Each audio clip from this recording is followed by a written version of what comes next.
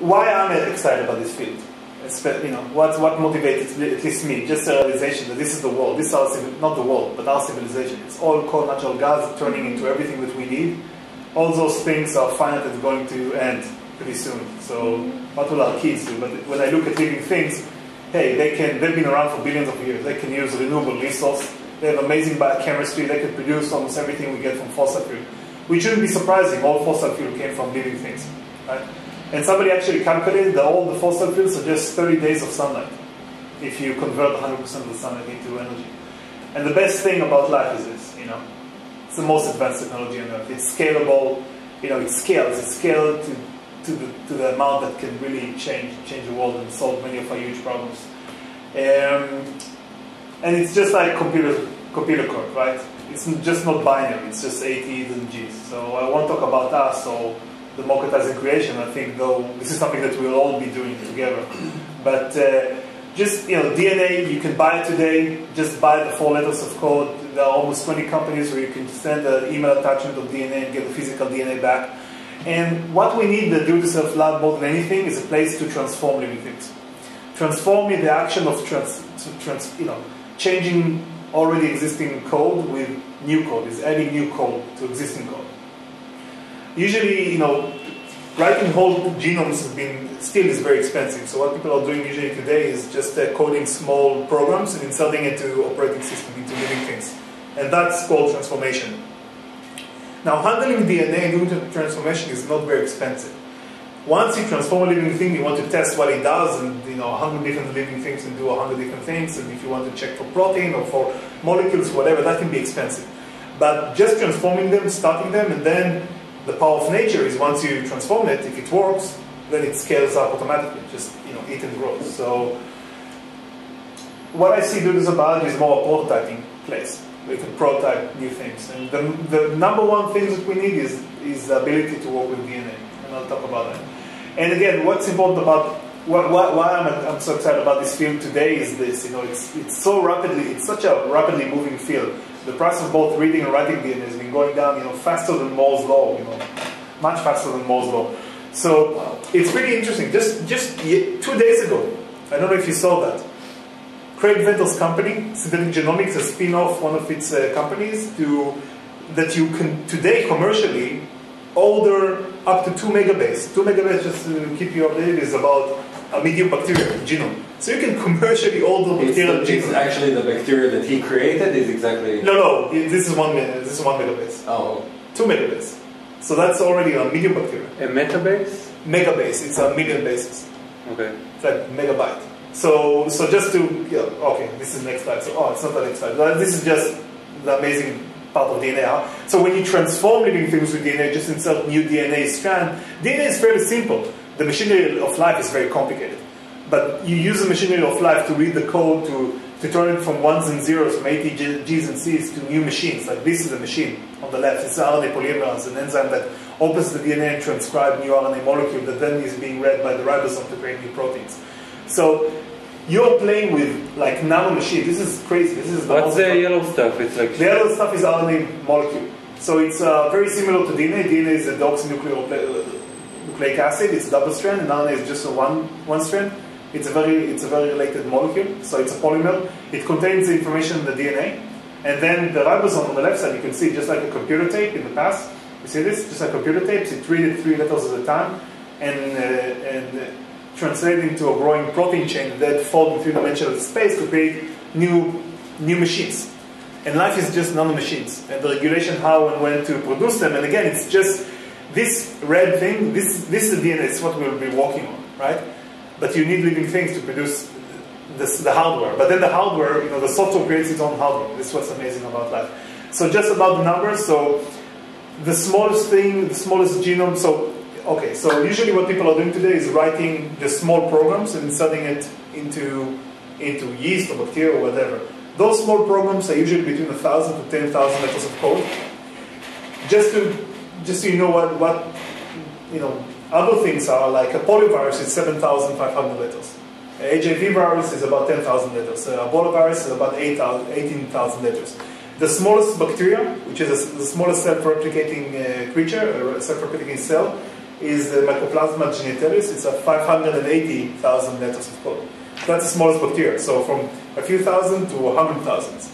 And then uh, eukaryotic chromosome, like yeast chromosomes, are like 2.3, 3 million megabase and, and up, and upwards. And we have 23 uh, chromosomes, tw- time twice, once from your father and one from your mother, uh, plus uh, the DNA in the mitochondria. But altogether, it's 6 billion letters of code, a little bit more than that. And we are not the biggest genome, so We're by far not the biggest. not biggest. by far, but Yeah. there are like Corn is even bigger, like The, the biggest genome in existence is um, an amoeba. A one amoeba, cell- 600, yeah, a 100 times. organism, How does like that happen? Two Why? measures of, uh, of uh, Two orders of magnitude. two orders of magnitude. Yeah, but, and we can write, so just uh, bacteriophage, I just love to show it. This was the first creature, yeah, what you have here. It's the first creature that, uh, you know, was created synthetically.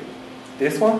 Yeah, so usually what the, this virus does is inject its own DNA, its own malicious code into the operating system, in this case a bacteria.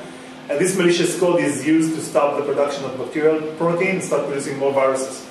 And it's, all, it's 40,000 letters of code, and what the, what the researchers did here was you know, uh, just chemically synthesize the DNA and mechanically inject it.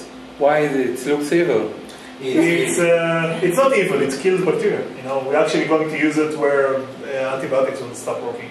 But this is all made by, by, by different proteins that encoded in its genome, in its source code that it's here in this capsid. It's pretty amazing. So you can see here a bacteria infected in, uh, in, uh, in phage and producing more phages. So, and then the first, in uh, 2010, Craig Venter published this. It was the first synthetic cell, so a million base pair, was synthet- synthetically synthesized from from in- you know email attachment into a whole genome that was uh, mechanically injected into cell and created a boot up a new cell based on the information uh, that uh, they that was in this DNA. And our capability is just growing. Wait, so the first synthetic cell Yeah. still used and it's an existing living thing to to create this yeah, new cell, right? they didn't create all the um, you know the membrane of the cell and the different enzymes and different. They just created the synthetic DNA and replace the. They actually didn't replace. They one of the genes on the synthetic DNA was a gene for uh, restriction enzyme. It's a protein that cut DNA. The the the, the genome that they injected was uh, protected against this uh, protein, but the wild type genome was not. So the first so they injected this genome, so this cell had two genomes for a while, but only the first protein to be expressed was this protein that chew up the other genome. But then when the cell divided, the, the, mo- the daughter cells was exactly based on the instruction on the DNA that you injected. This is why we call it synthetic life, right? So, so to analog to computers, what they did is they took a computer and they yanked out the hard drive and they inserted another hard drive inside and started it up. So it's, it's, it's like taking your, uh, your, your Actually, they inserted a second one that caused the That first caused one the first one to be exist. irrelevant. Yeah, to self destruct, and then the, it, they enter the Mac hard drive uh, disk, and it uh, causes the Windows disk to, to dissolve, and then the, the Mac, you know, you know the, the PC just changes to a Mac, and then Yeah. you know grow to two Macs and eight and grow, and then Yeah. I wish my Mac would be able to do that, but yeah, that's a difference. So we build design tools because we see the need when the you know the price is going down, the capability going up for design tools. I'm not going to Genome Compiler; it's out there. You can load it, play with it.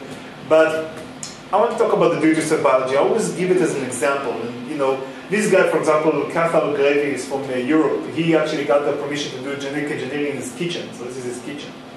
and so he, you can do it in your kitchen. Some there are people in the Bay Area doing it in the garage, literally in the garage. I can have some picture of that. So do it yourself biology. You, you, I think you all came because do it yourself bio.org were representing uh, the Israeli branch. So okay, you know biology in the Holy Land. Um, I think most of you heard about GenSpace or BioCurious. So I was actually in BioCurious. I never went to GenSpace, but I met the founders at DLD and other places. Um, we should definitely have one here in Israel. So just a few things that you know even amateur people can do. So iGen is the International Genetic Engineering Machine Competition. Started MIT 2005. Now it's all over the world. So just the last year, again, undergrads, like first Torah Rishon, okay, kids in, during the summer doing amazing things. This group from Utah created uh, Kanokoli. It's uh, E. coli that produced spider silk. Or this group from Munich created uh, four strains of yeast uh, to produce beer, and those strains of yeast produce, you know, anti-cancer drug, lemon taste uh, molecule, protein sweetener, and even caffeine. So Wow. the first synthetic biology beer was done there. And then this group uh, changed E. coli to produce different pigments, different colors corresponding to different disease states. So you can eat a probiotic uh, yogurt, go to the bathroom, very graphic, but you know what you have, right? Uh, what drug you need. And this group from Cambridge optimized uh, bioluminescence uh, like fireflies uh, so much you can actually read to the light of bioluminescence. And one of our users, because it was done at iGEM and all the iGEM uh, uh, parts are in our software, is actually designing a, designed a, a construct to move this system into chloroplasts. This is the organelles in plant that uh, create, that do photosynthesis. He wants to create glowing plants. So that was his design using our software. So the enzyme that, uh, luciferase is the enzyme that uh, breaks down a fuel molecule called luciferase to produce light. So the subunit A and B of luciferase, and then three subunit to produce luciferin, and this is how you code in life, or one way you code in life. This is something I can do in my kitchen. This is something you can do with your laptop. The laptop is okay, but it doesn't shit out. Uh, No, once you, in, in, in our software, and I'll get to that, but in our software you have uh, you have a very important button, which is pricing. So once you, this is a glowing plant designs, for example, I have a, a shared uh, folder with this guy that designing a lot of. Uh, this is one of those designs. So I can just press pricing. So just order it. So you know we are working with several providers. If you have a credit card, you can just order it and get the physical DNA. And this is already mixed and ready, or is it just the parts? It This is, this is a DNA. This is a physical DNA. You then need to transform plants with it. Okay, I'm not going to continue. Uh, Okay. I'll ask you later. No. So this is about 10,000 meters of code. Today prices will cost about $8,000. That was amazing. the Why? thing with the pricing. just so you know. Ah. So, I'm sorry. Shut up. Okay. so today prices will be about 8,000, even less. You know, it's uh, I think it's uh, obsolete prices. I think I can get it for $5,000 today.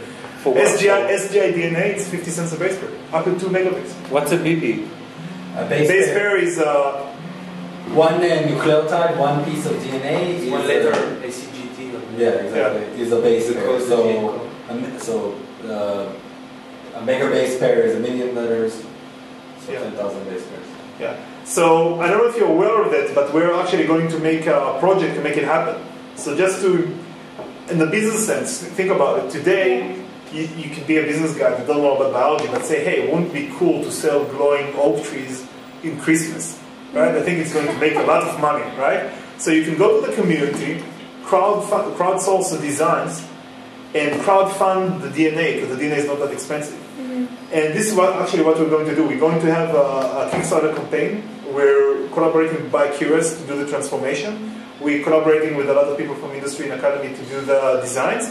And then we, 10% of this uh, campaign is already funded before we started. Just uh, Tony Shea from Zappos just said 10% if I get it for uh, Las, Las Vegas. So this is going to happen. So we're going to, to go out with this project, uh, you know, the end of the, hopefully the end of the month. I keep telling people it's going to happen. It's getting delayed. Is it one million dollar company? No, it's a hundred thousand dollars. So, And Hanu, and what, I, what do I need to do to the biology lab is once I have the design to, to, to do the transformation to plants, and then this is a very simple thing to check. I don't need to see how much of a molecule I have. I just close the light and see does it bright, Yeah. is it bright enough? If not, next, right? So that's something something fairly simple. Uh, and wha- wait, you, you inject this into a living plant and it will uh, override and make it glow? No, so you have several ways to. Uh, this is part of uh, teaching because uh, part of the of biology is to teach, and uh, part of the thing that at least I want to do is. Uh, I thought always thought I was going to be a professor, and then I ended up being here. So I want to teach. I really like to teach. So I want to teach uh, molecular biology the cell from sample. Then you'll understand more. The way you actually transform living things, in this case, well, there are, we should talk afterwards. There are several ways to transform plants, one with bacterium and one with the gene gun. It's a method of using uh, DNA, um, gold nanoparticle uh, with DNA and just shoot them into cells. And some of the cells will get the DNA, some not, and you add to your design uh, antibiotic resistance or some other resistance. So only the cell you got your design live. That's what we usually do. Um, so let me go through a bunch of cool stuff and then we can discuss uh, priorities. So not this. This is not interesting. Okay. So this is Gen GenSpace. This is the lab space at uh, at uh, Brooklyn. Um, I think that was the first one, and I think uh, some of you saw the um, some of you saw the the TED Talk. TED Talk. TED Talk. Yeah. yeah. And that was very inspiring. And this is a place where you know they're now doing so many different projects. Some of them is art. So, for example, what you see here is uh, it's something very simple to do. Is to uh, to there are a lot of uh, uh, fluorescent protein that fluoresce when you you know in this Oh, case they use UV light, and then this protein they, they came out of uh, jellyfish. They, they have green fluorescent, red fluorescent, blue fluorescent, and you can have the, the design already ready and just use it to transform bacteria, and then paint with different strain of bacteria on the antibiotic uh, uh, agar plate, and then when you use UV light, you can see different uh, Wow. different. This is art. You know, this is art more than anything. This is very simple to do, and this is something I want to do for high schools. You know, because it's so simple. It's just transformation, which is very, very simple, and then you can create, you know, cool, cool uh, art forms with that. Um, and this is something they do. This is a DNA gel. Don't get into it, but this is something they do in the do-it-yourself biology lab setting, for example. So this is one of the the labs. The other one is BioCurious. I was there several times. Um, so, you know, your Bay has a hacker space for biotech. So, and again, if you look at the classes, they have classes molecular biology. They have uh, so they have a meetup, right? So you can see the different classes they have. So uh, let's see, experiment with friends, right? So you, know you have a different lab. Bioinformatic community project workshop for human genetics, for example. You know why not, right? Biolab automation and robotic community project, trying to get the automation and the robotics into a lab. Bioluminescence community project. So they have a bioluminescence group that we're going to collaborate with. Molecular biology is still a study group. So they have study group for biology, teaching them the basics of uh, of uh, biocell or GFP, GFP transformation class. That's uh, how you transform bacteria with a green fluorescent protein, get uh, cells to glow. Bioprinter, they're building a printer to print cells, to create uh, you know 3D printing of cells. So, and this is what you can do with a meetup, with a with a space. You can do some cool stuff. And this is our glowing plant project, so glowingplant.com, where we talk about this is a this is a TED talk you, you saw about uh, a community lab, but uh, in different look at life. Life is amazing. This is a uh, one of know, one is, uh, glowing mushrooms. Yeah. Avatar. What? Avatar. Ah no, this is, this is real life. This is not avatar. Yeah, and then we have some protocol, transformation protocol for Midopsy. So if you want to transform things, exactly how it works. So different temperatures and what you need and all of that. Um, that's one thing. Do-it-yourself biology. So I think some of you came from do-it-yourself biology. They have a, a do-it-yourself biology uh, group. That's the main group where if you have questions, you you get a lot of people to help you. There's a lot of good questions and answers here. How to set up a lab, what you need, some protocols. It's pretty amazing. Some good things here. And of course, we have our own Duties of Israel uh, somewhere here. So Duties of Israel, which is uh, a little smaller, but uh, you know we're starting it. So thank you for coming. Uh, but please, if you are not joining in, please join in. So Duties of Biology Israel. You can go there through the Duties of Biology. Just search for Israel, and uh, yeah, uh, we are on the map. So You can also join on the link in the group Synthetic Biology and Bioengineering that I created. Ah, where? Israel Synthetic Ah, cool. Biology. You can join us. LinkedIn? Israel Bioengineering and Okay. Synthetic Biology. So, so one thing I want to do is to teach biology, and this is something that I'm building a course now for just basic biology to teach uh, things for my class, for my for my company, and then for people the digital biology lab. And so I want to show you one last thing, and then uh, we can just open it for discussion. But uh, uh, Autodesk uh, are one of our biggest investors, so they asked me to help them spec a digital biology lab in their office. So we actually, what you see here is just consumable in one tab, and then uh, the equipment that you actually need. So consumables are usually you know, tips, seals, petri dish, surgical tips, uh, nitrate gloves, uh, a bunch of things that you need to have in the lab, and then the equipment. And uh, you know, freezer, minus 80 freezer, incubator, small incubator, PCR machine, microcentrifuge, a few a few things that you need just to handle just to handle uh, uh, you know, DNA transformation, just the basic things, and a link to how, where to buy every, each of them, right? In the in the key in the makat, right? The catalog number for each of them. So we can actually spec it out, and I can tell you, with 100k dollars, we can get everything we need, but we don't even need the hundred thousand dollars. We can, you know, which I'm sure we can get from donations. We need a. Our first priority is a physical location. Number one, and then we can start dropping equipment out of it. So, uh, Ido Batzelet from uh, Bar Ilan already said that he want to give us some equipment. If you go to labs in Weizmann, in Tel Aviv, you can find shitload of equipment. People just throw things at you. And it's, it's not, it's like uh, just